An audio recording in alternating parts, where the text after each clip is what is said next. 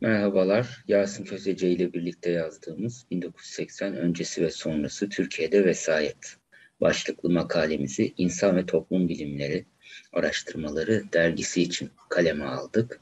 Bu makalede Yasin Kösece ile birlikte 1980 öncesi ve sonrası Türkiye siyasetinde askeri ve bürokratik vesayetin karşılaştırılabileceğini söylemekle ve bu dönemler arasında kronolojik bir çalışma yaptığımızda bu dönemler arasındaki farkların 1961 Anayasası ile 1982 Anayasası'nda vesayet kurumlarına tanınan hukuki zemin ile açıklanabileceğini düşündük. Bu yönden yaptığımız çalışma tarihsel karşılaştırmalı analiz yöntemine dayanmakla birlikte e, Türkiye siyasal hayatına ilişkin e, bir yorum ve döküm içeriyor. Neden 1980 öncesi ve sonrası diye düşündük? Çünkü 28 Şubat darbesi ve sonrası e, Türkiye'deki vesayet biçimlerinin çok daha karmaşık, komplike ve ayrıca çalışılması gereken bir alan olduğunu düşündük. Özellikle Adalet ve Kalkınma Partisi döneminde gerek FETÖ vesayetinin gerek Kemalist vesayetin farklı dönemlerde etkin olmaya çalıştığını biliyoruz. Biz 28 Şubat darbesiyle birlikte sonlandırdık çalışmayı ama e, başlangıcını Osmanlı Devleti'nin son döneminden alarak yaptık. Demokratik hayatın halkın iradesine dayandığını, halkın iradesini yansıtan siyasi iktidarında hukuk devletinin sınırları içerisinde devlet yönetme yetkisini elinde bulundurduğunu biliyoruz. Buradan hareketle özellikle 1960-80 arası 61 Anayasası'nın sunduğu imkanlar çerçevesinde 80 sonrası da 82 Anayasası'nın sunduğu imkanlarla askeri vesayet başta olmak üzere bürokratik vesayetinde e, etkin olduğunu gördük. 80 darbesiyle anayasal bir kimliğe kavuşan askeri ve bürokratik vesayetin 80'li ve 90'lı yıllar boyunca aldığı şekli 28 Şubat 97 darbesine kadar geçirdiği veçeleri mercek altına almaya çalıştık. Karşılaştırmalı tarihsel analiziyle vesayet odaklarını açıklamaya çalıştık. Ee, çok partili Türkiye siyasetinde aslında sivil, askeri ve bürokratik vesayetin etkisinin hiç az olmadığını, e, Türkiye siyasetinden hiç e, elini çekmediğini e, biliyoruz.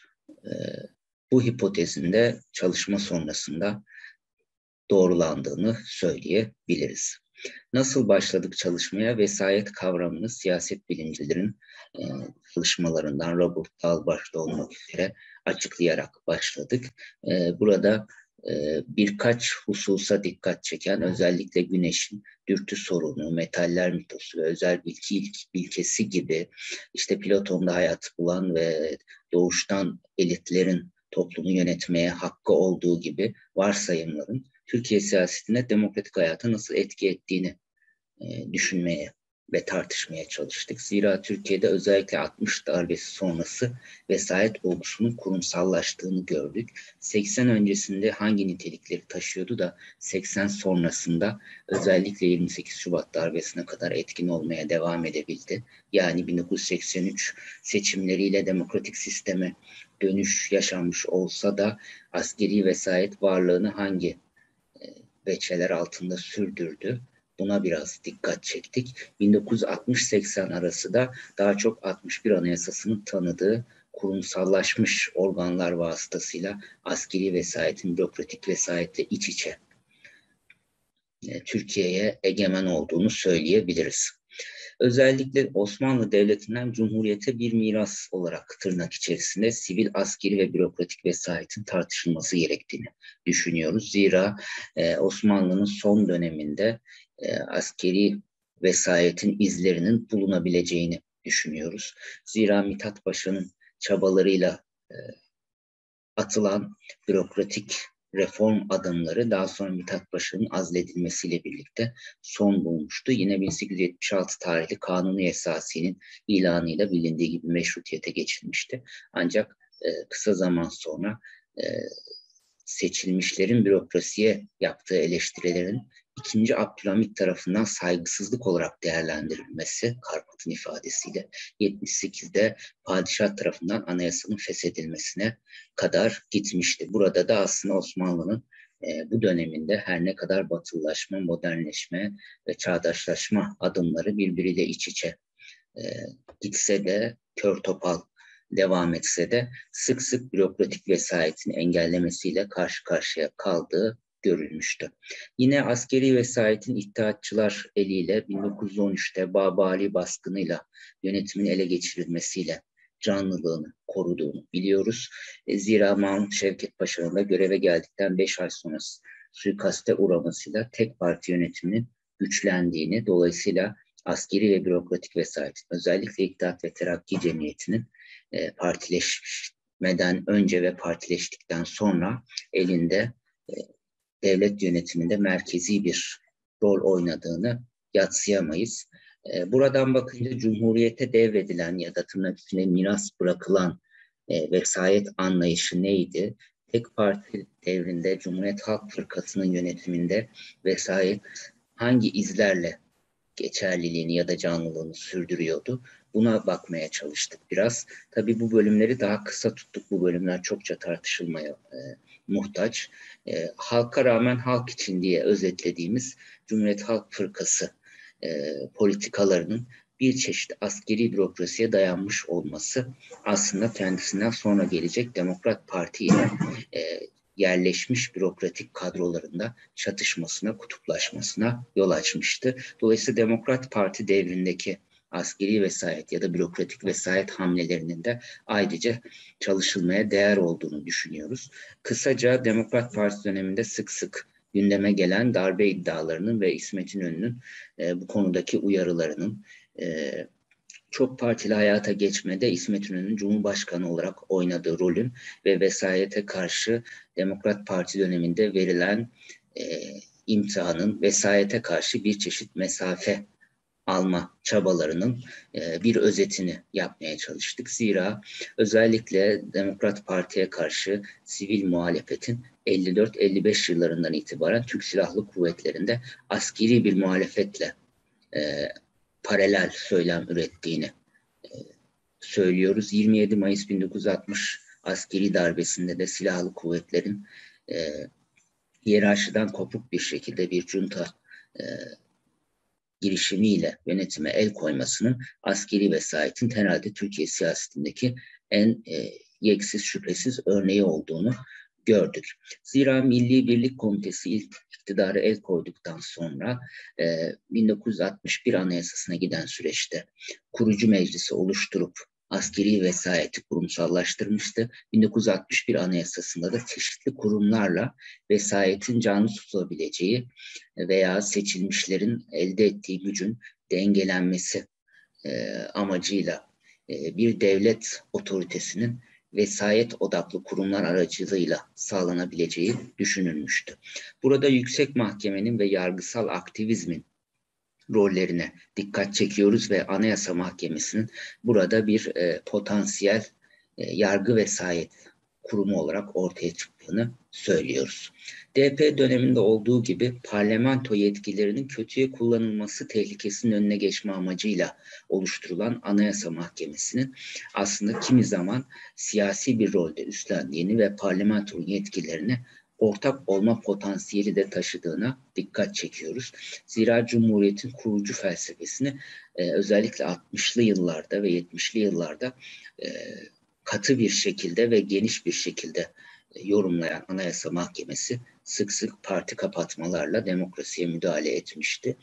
E, bununla da sınırlı kalmadı vesayet odaklı devlet kurumları bir denge mekanizması olarak Cumhuriyet Senatosu anayasada yerini aldı ve Cumhuriyet Senatosu'nun bilindiği gibi önemli bir bölümü askerlerden e, oluşuyordu. Doğrudan halk tarafından genel oyla seçilen e, üyelerin sayısı e, ancak üçte biri buluyordu ve eski cumhurbaşkanları ile MBK komitesi üyelerinin de ömür boyu görev yaptığı göz, göz önünde bulundurulduğunda senatonun halkın iradesinden çok vesayet odaklarının temsilciliğini e, göz önüne seren bir tablo çizdiği söylenebilir.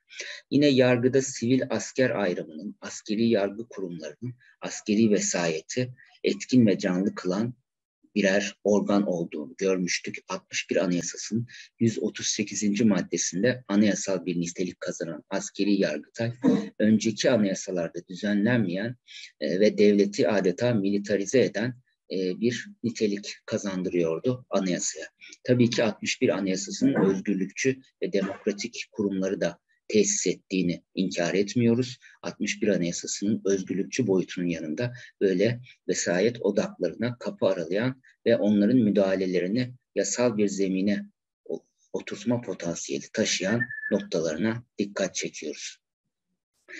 Ee, yine askeri yargının mahkemelerin bağımsızlığı ve hakim teminatına aykırı hükümlerle hukuk devleti ilkesini ihlal ettiğine dikkat çekiyoruz. Milli Güvenlik Kurulu'nun da 1980 sonrası askeri vesayetin merkezi olarak e, bu vesayeti meşrulaştıran e, bir hukuki zemin oluşturduğunu söylüyoruz. Fransa, İtalya ve Amerika Birleşik Devletleri gibi birçok ülkede İkinci Dünya Savaşı sonrası sivil asker arasındaki iletişim, denge ve hükümetlere güvenlik alanında danışmanlık üzere kurulan yüksek kurulların 61 Anayasası'na da ilham verdiğini ve Milli Güvenlik Kurulu'nun da bu ilhamla buradan alınan e, örneklerle anayasal bir niteliğe kavuşturulduğunu biliyoruz. Yapısı bakımından siviller lehine daha sonradan birçok yani sivil sayısının asker sayısına oranla e, artırılması yönünde birçok reform uygulansa da MGK rejim üzerinde askeri kontrol sistemi gibi davranan bir organ haline gelmişti Keskin'in ifadesiyle. Yine 61 Anayasası'nın 111. maddesi milli güvenlik ile ilgili kararların alınmasında Bakanlar Kurulu'na yardımcı olmak gibi bir görev biçiyordu MGK'ya. E, MGK'nın bu görevi çok daha etkin bir şekilde 1980 sonrası e, Türkiye'de askeri vesayetin merkezi haline geldi diyebiliriz. Teknokratik vesayet denemeleri de var tabii 60 ile 80 arasında. Devlet Planlama Teşkilatı'nı buna örnek olarak gösteriyoruz makalede. E, siyasiler ile bürokrasiler arasındaki iktidar mücadelelerinde bürokratların teknik bilgi sahibi olmasının avantajıyla siyasilere karşı elini güçlendiren organlardan bir tanesi haline gelmişti. Devlet Planlama Teşkilatı ve bilgi ve uzmanlığı ile e, yön vermek e, rolünün yanı sıra adeta siyasilere baskı ya da had bildirmek e, rolüne de bürünebiliyordu. Başbakanlığa bağlanan basına da müsteşar e, başına müsteşar olarak albay rütbesine bir askeri personelin getirildiği DPT'nin ülkenin kalkındırılmasını akılcı ve bilimsel yöntemlerle sağlaması amaçlanıyordu. Ancak siyasi müdahalelerden korunması için ayrıcalar sahip olması e, beklenirken DPT müsteşarının neredeyse Bakanlar Kurulu üyesi gibi etkin bir söz söyleme hakkının bulunması askeri vesayeti canlı tutan etmenlerden bir tanesiydi. Teknokratik vesayet denemesi belki akamete uğradı ama askeriyenin varlığı buralarda da varlığını e, sürdürdü. 80 öncesi vesayet odakları ve odaklar arası ilişkileri de e, işledikten sonra 80 sonrası vesayete e, geçiyoruz ve 80 sonrası vesayeti olabildiğince 80 öncesi vesayetle karşılaştırmalı bir şekilde işlemeye çalışıyoruz.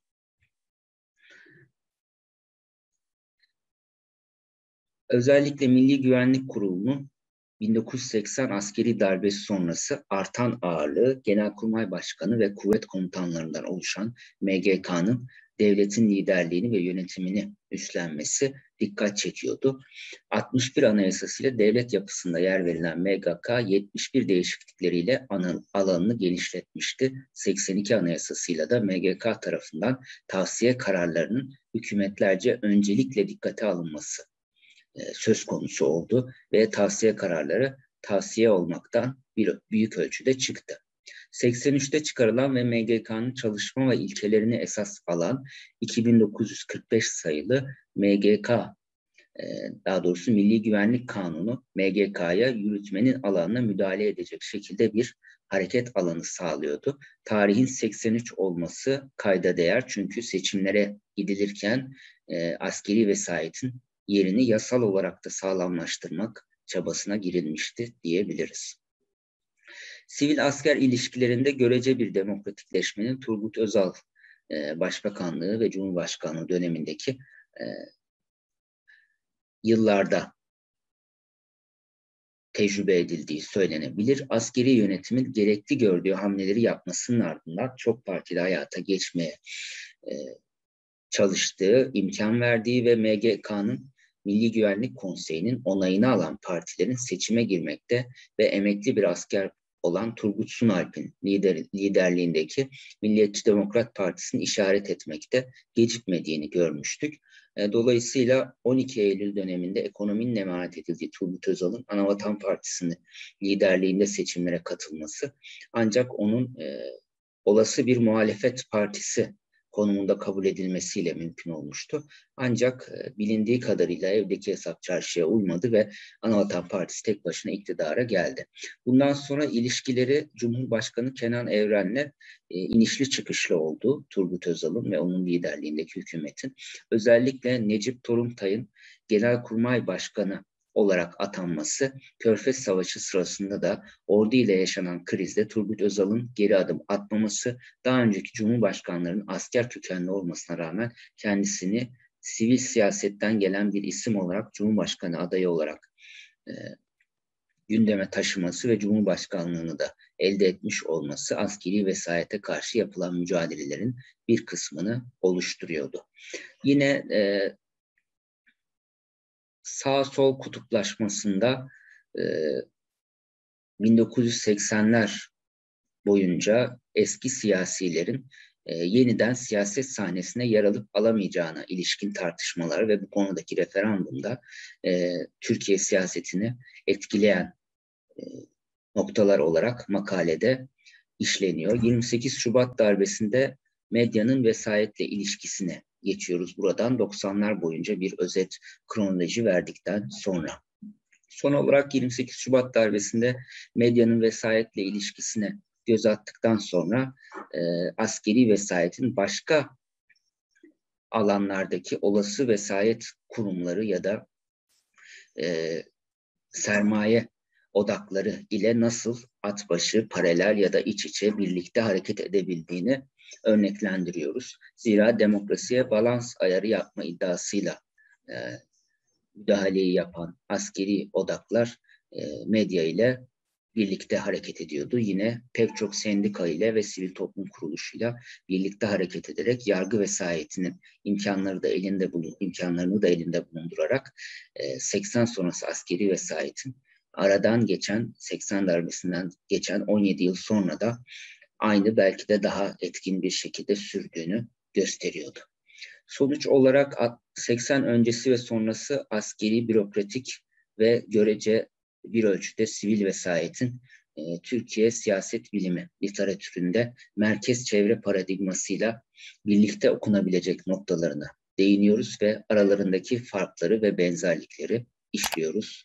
İyi okumalar, yararlı olması dileğiyle.